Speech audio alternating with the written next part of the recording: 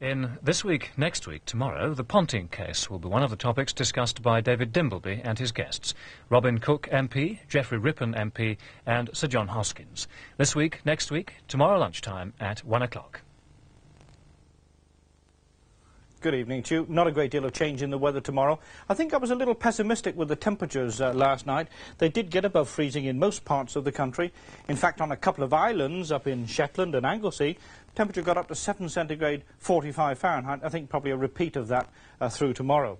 It looks as though this front, which is a band of cloud basically, is likely to clip up into some southern parts of the country tomorrow, notably near the south coast, maybe give a flake or two of snow in the Channel Islands, but really no more than that. And then we'll see a change. The low will be drifting across to the east, and then we're going to build this high pressure down so that I think uh, during Monday it will become much colder, especially down in the south, with these uh, very uh, strong and cold easterly winds. Let's have a look at the satellite picture then, and it can uh, show you that there's very little cloud across the country uh, just at the moment.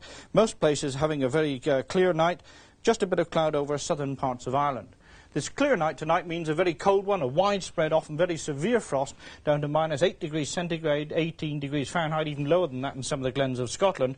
And with these low temperatures, perhaps a few uh, freezing patches of fog around.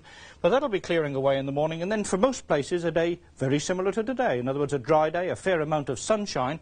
Uh, quite cold still, but temperatures getting above freezing for most of us during the afternoon rather more in the way of cloud in that northwestern part than you've had today, and certainly in the Channel along southern coast there will be cloud from time to time, a flake or two of snow in the Channel Islands. Well, that's it from me.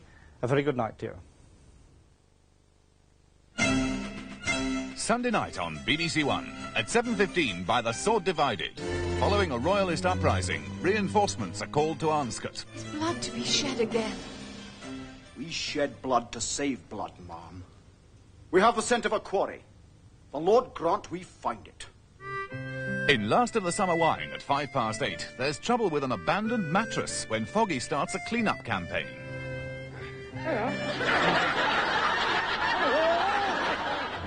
At 8.35, Mastermind. Four contenders from London and the South East step into the firing line. In That's Life at 9.20, romance is in the air as Esther Rantzen tries to give roses to men. And fails. At five past ten, Everyman reports from Laos, with politics of pressure at 10.45 and international darts at 10 past 11. That's Sunday night on BBC One. Now, on BBC One, a Saturday night spine chiller. Full-blooded horror, a sharp sense of humour, and frightening Oscar-winning special effects are the ingredients. Showing for the first time on British television, An American Werewolf in London.